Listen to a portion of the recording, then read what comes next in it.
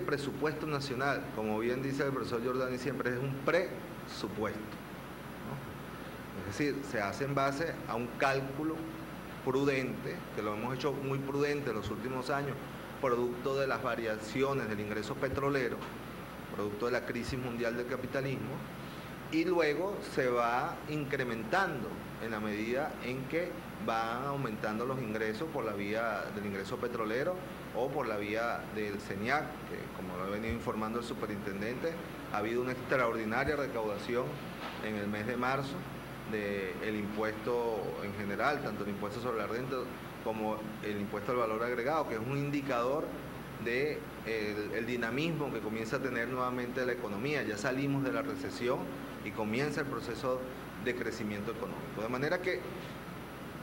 ya el presupuesto aprobado por la gobernación seguramente va a tener un incremento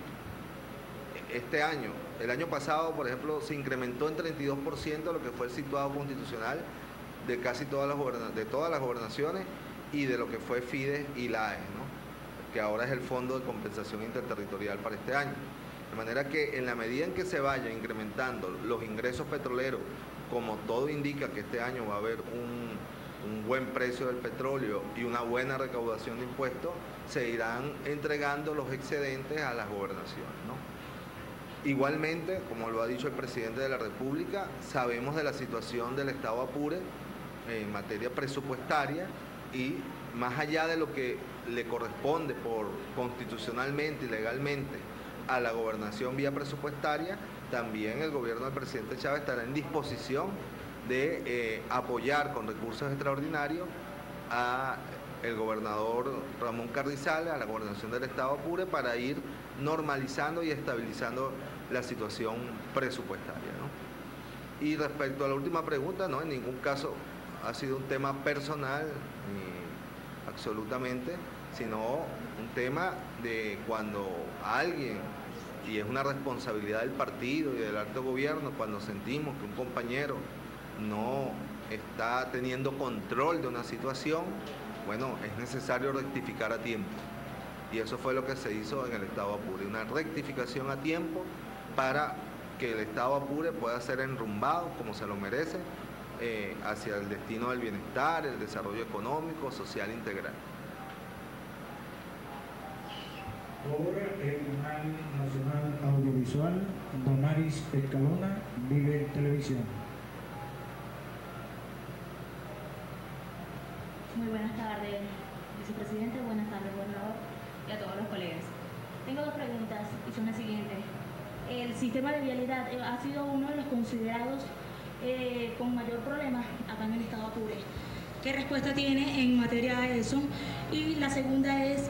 si su presencia obedece a una demostración de la sinergia con la que ha venido trabajando el gobierno nacional y gobierno regional. Sí, sin duda. La presencia nuestra lo que quiere evidenciar es que estamos trabajando juntos, el gobierno nacional, todos los ministerios con la gobernación del estado Apure y precisamente estamos chequeando las tareas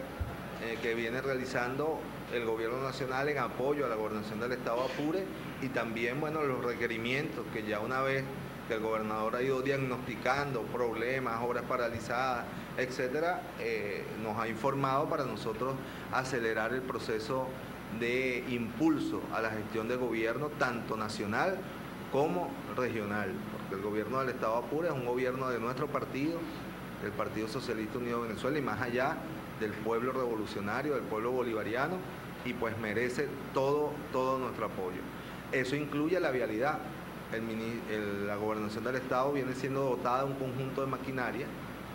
porque sabemos la complejidad de la vialidad, pero recordemos que nunca antes se había hecho tanto en vialidad, sobre todo cuando Ramón Carrizales estuvo al frente del Ministerio de Transporte y Comunicaciones, de, Obras Públicas,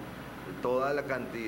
la recuperación de las principales vialidades del Estado Apure, quedan algunas que le falta la rehabilitación, garantizar el mantenimiento de las vías que ya se hicieron y sobre todo el complejo mundo de lo que es la vialidad agrícola y lo conozco bien porque fui ministro de Agricultura, que es una tarea de todos los días, pues, porque la vialidad agrícola hay que hacerla casi en Apure cada, cada seis meses, pues. Después de cada salida del invierno hay que rehacer todo lo que se hizo antes del invierno. De manera que el gobernador viene siendo dotado de un equipo de maquinaria para poder impulsar la recuperación de la vialidad agrícola y también de la vialidad urbana en el estado Apure.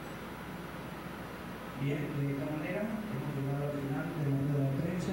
desde el salón del despacho del gobernador del estado de Apure en esta oportunidad